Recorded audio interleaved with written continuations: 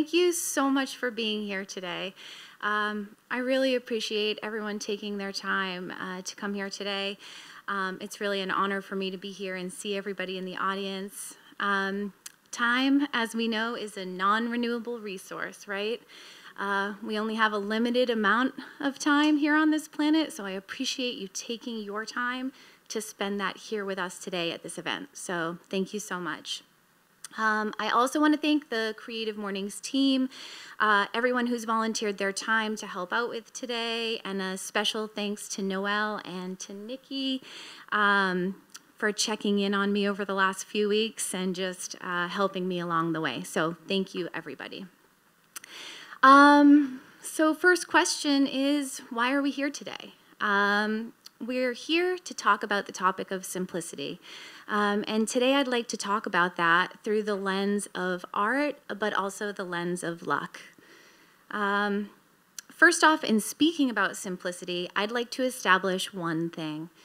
Uh, because I do think people have different ideas of what simplicity is. So um, I would like to start off by saying that simplicity is a process. Uh, it's not just a thing that we attain or an end goal um, or even a thing that exists on its own, um, but it is a process.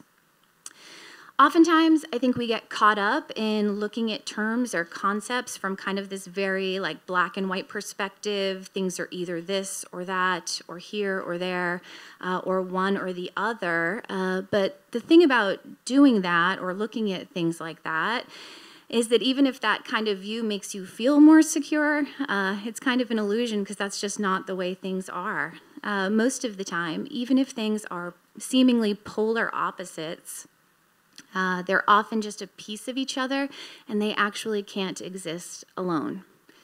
Uh, so, with simplicity, um, it's just one side of a process that also contains its polar opposite. And for the sake of today, I'm going to call that polar opposite complicating. Um, I know that that kind of has a negative connotation maybe to some people, but there's nothing negative about it. It is just the opposite of simplicity. Um, so, on one side of this process, you can kind of think of concepts like simplicity, minimizing, uh, simplifying, taking away, editing.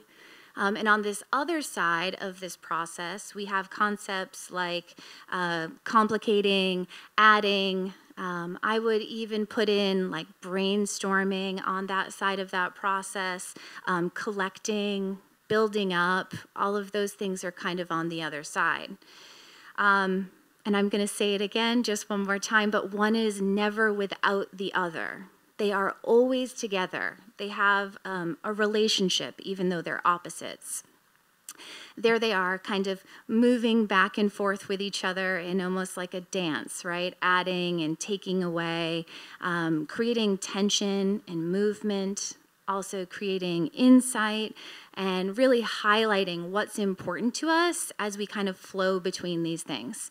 So, um, just to kind of walk through a little bit of a, like an example with that um, together, uh, just for an example.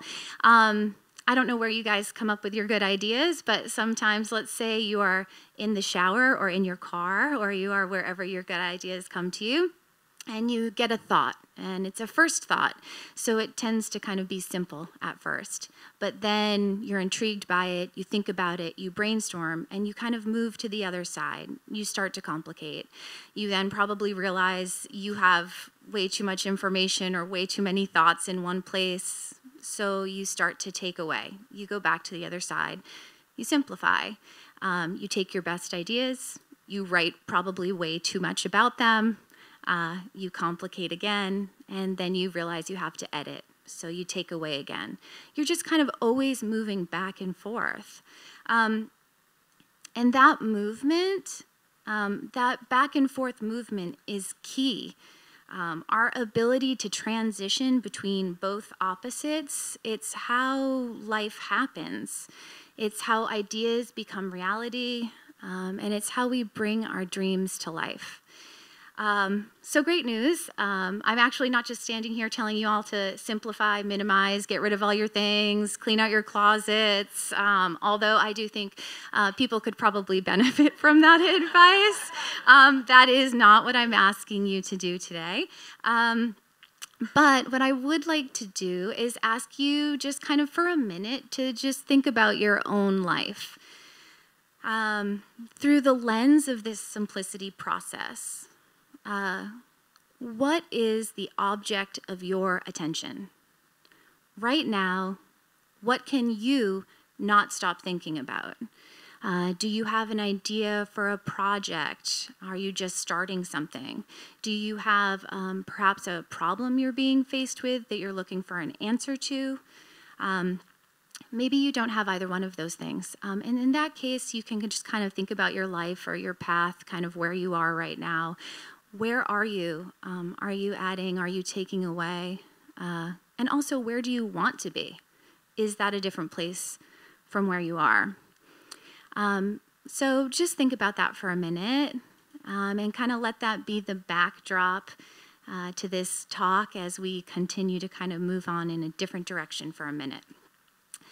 Um, so some of you might be thinking right now, like, okay, thank you, Kenley. I'm thinking about my life. Thank you for your thoughts about simplicity, but uh, who are you and what authority do you have to talk about this topic? Um, so uh, just to introduce myself a little bit again, my name is Kenley Darling. As you may already know, um, I'm an artist and an illustrator that's been living here in the Seacoast for 20 years. Um, although my art has changed, uh, many times over the years, and I feel like I've kind of reinvented myself through my art. Um, Currently, I'm probably best known for my mural work. Uh, like Noel said, it's very public. I'm sure that maybe uh, people have seen it around town. Um, I'm also probably known for some of my good luck stickers, as luck is often a common theme in a lot of my art, uh, but my mural work is probably what I'm best known for. Um, so I'd like to just show you some photos of that, if I can work this correctly right here. Um, this right here is the Shalimar mural. Um, this uh, is actually extended. Since this picture was taken, there's, there's more art kind of further down the wall there. Uh, if you haven't seen it in real life, it is walking distance from where we are today. So if you want to head over to the Shalimar uh, after this and see it with your own eyes in real life, you can go over there and enjoy it. Um, but I think this is probably one of the, my favorite murals I've ever painted. Uh, part of that reason is probably because I do think it brings the community a lot of joy. And because it's right up the street, I get to see it and I get to see people interact with it. And I always get so excited uh, when I get to see that. Um, but um, as you can see, I often use uh, simple lines and shapes to create patterns, and then I use those patterns to create murals. I'm often using like very simple shapes. I like triangles, circles, semicircles, kind of these very basic, simple shapes. But when you play with those shapes and when you complicate those shapes, kind of move in the opposite direction, you create something like this, uh, like this mural.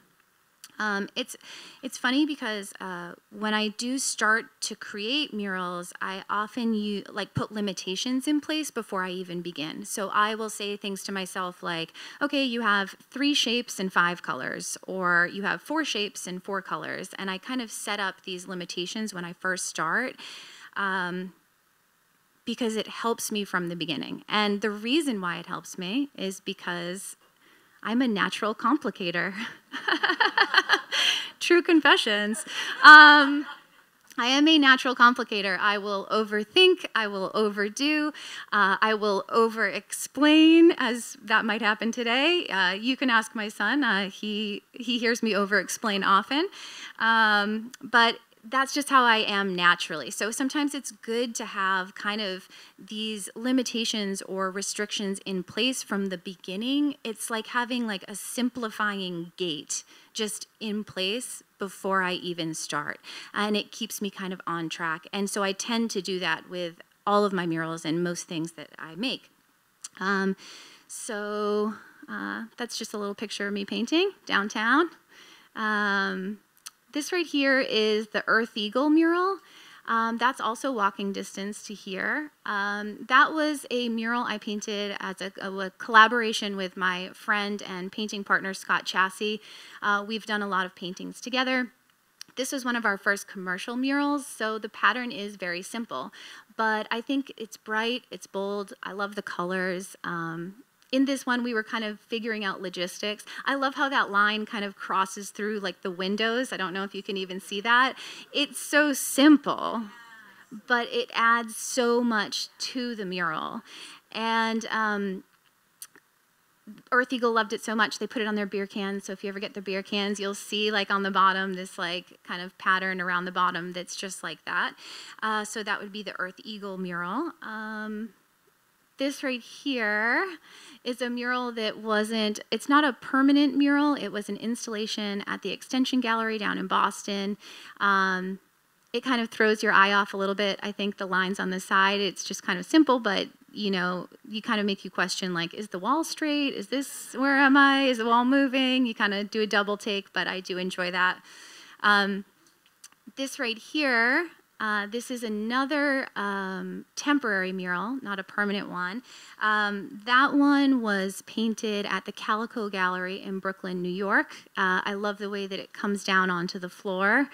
Um, this was a really exciting mural for me to paint. Uh, some murals I just love, and I don't know if it's because of the end result or if it's because of the way I feel when I'm actually painting, or maybe it's just a combination of both. Um, but it's funny because like when I was a kid, I grew up you know, before the internet, so I couldn't type in like geometric bold murals and have thousands of examples come to me at my fingertips. I only really saw what was in front of me, you know, or unless I saw it in a movie or like a book or a magazine or something. Um, so I didn't really, as a kid, really see a lot of mural work. It just wasn't in front of me.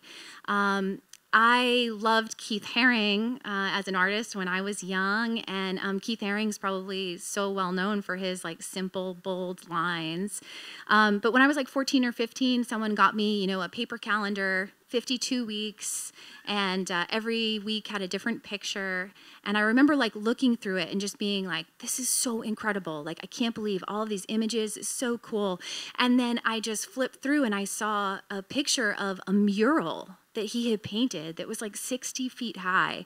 And I was so inspired by it and like really in awe because I'm like, if this person can paint something six inches and then paint it like 60 feet, like that's it. That's art. He's an artist. That's insane. I just thought it was really incredible. Um, so in my mind, that's I had this kind of like, wow, like if he could do that. And for some reason, like when I painted this mural, I felt like I had just had a moment where I was like, I think I, I think I'm doing this. This is I'm doing this. I'm painting big. This is great. And um, so I just really love this one. Um, it has kind of a special place uh, in my heart right there. Um, this right here is a residential mural that I painted again with Scott uh, Chassie um, down in Strasburg, Virginia. Um, I was going to say what actually looking at it, like this looks like a pretty simple mural, but I don't know if it does. Now I'm like, I don't know. Do you, I don't know. Does it look simple? Uh, to me, it looks pretty simple. Like you're just really using, I mean, there's one shape, I mean, maybe two triangles. Um, you know, the colors are, you know, uh, varied, but um, people say this all the time, right? Simple things are not easy, you remove that thought. If you think that, just remove it. They're just simple things are not easy. Simple things are usually pretty complicated, right? Again, existing together. So this mural, although it looks pretty simple, when you the layout of this mural was kind of insane. Uh, there's, I think, a picture here.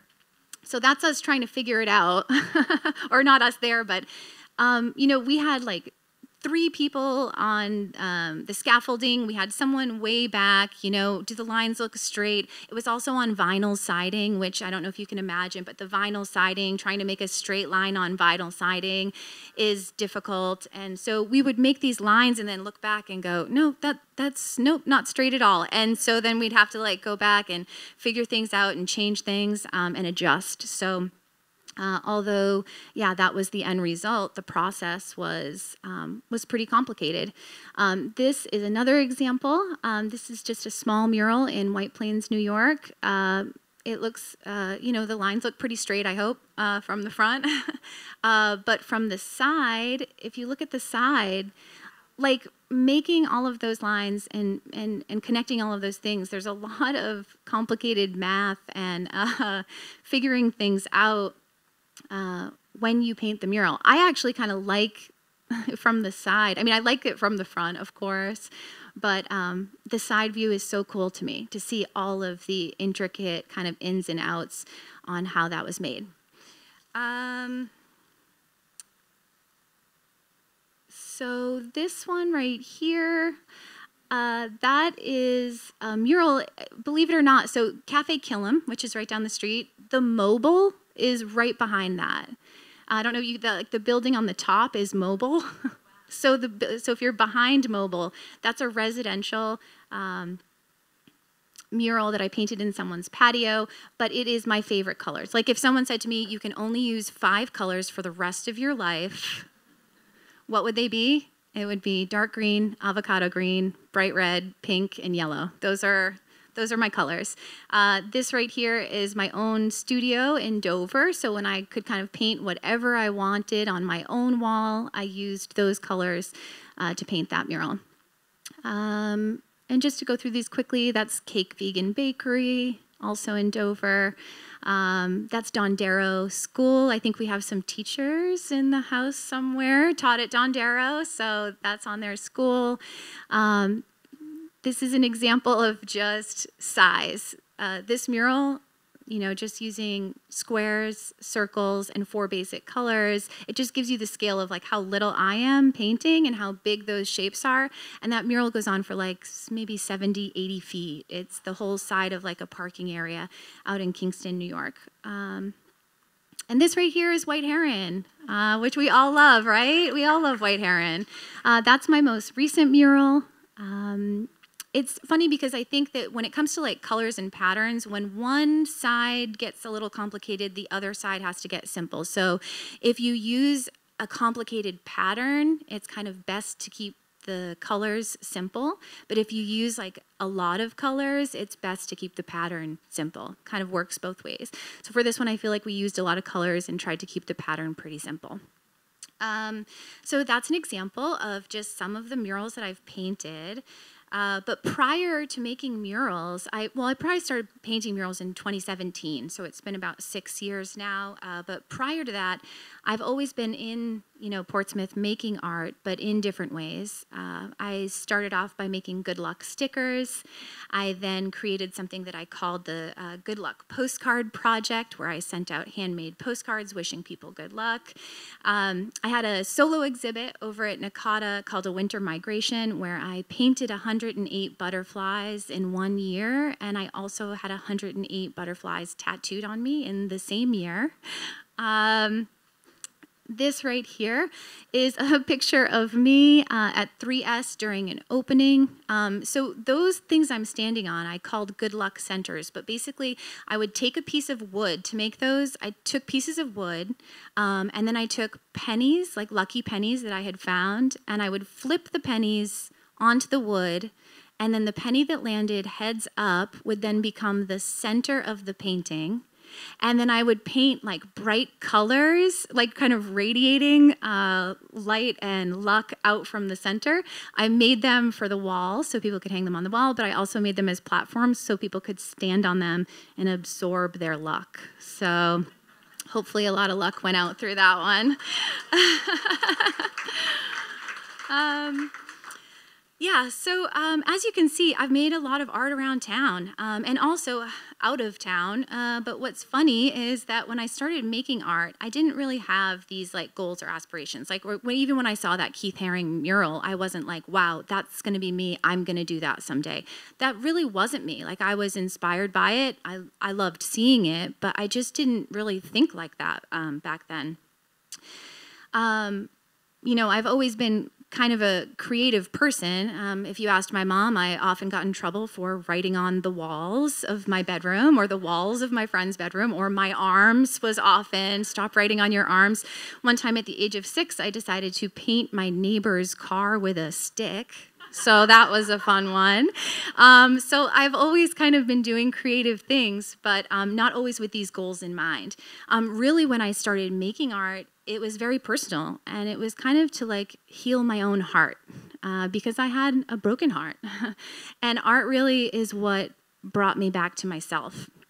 Um, as a young person, just to go back a little bit even further, um, I actually uh, I dropped out of school uh, at the age of 14. Um, I ended up in an alternative high school for a few years. Um, I then got married at the age of 19, um, and I had my my handsome young son uh, when I was only 20. Um, so, and then after that, by the age of 23, I was found myself going through a separation, a divorce, and becoming a single parent. Um, you know, all at a very young age. Um, I did kind of go back and forth about editing this part of, um, it's a little personal, about editing this part uh, of this talk out. But I think if we, in terms of like simplifying and process, if when we're editing we leave the important parts in, I do think that this is important to say. Um, things weren't exactly easy for me as a young adult. Uh, my ex husband, uh, who is no longer with us, um, he had pretty severe uh, mental health issues and he suffered from addiction, uh, losing his life just last year to a drug overdose. Um, yeah, so I'm sure uh, that there's people in the audience now who, uh, you know, have loved someone that suffers from these things. Maybe it's a family member or a friend or a lover. Uh, but for all of you people, I don't really, I don't really need to say it because you know. But for those of you who might not know, um, their situation is complicated. there is nothing simple about that situation. Uh, loving someone who is suffering so much, but who is actually also dangerous to your own being, it's super complicated. Uh, and I was just 23, like dealing with all of this stuff. Um, this period was probably one of the most difficult times in my life. Um, I didn't spend much of that time dreaming or sleeping in or going to the beach. Um, every day I was being faced with like really challenging real life issues, and the only thing that was important to me was the well being and the survival of myself and my son. So it was a super tough time. Um, and with all of these kind of complicated um, events and emotions that were going on around me, like I needed a reprieve, really. You know, I needed to kind of like access um, a simpler world while I was being faced with like a really challenging one in front of me every day. Um, also, don't get me wrong, I was still having a good time. Uh, I was still having joyous moments uh, parenting, but I don't know if you ever, you know, you ask a parent of a three year old, like, how's your week going? And they're like, you know, it's really calm and quiet, and I've had a lot of me time just to process everything. You know, it's just not usually the answer. Like, things are hectic, especially for a single parent. You're very busy.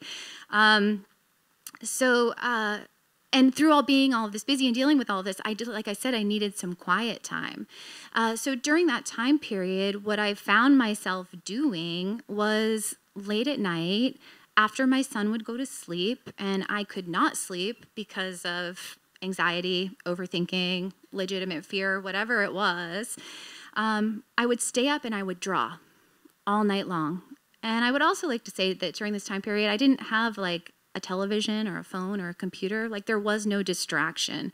Uh, so my son would fall asleep and I would stay up and I would draw.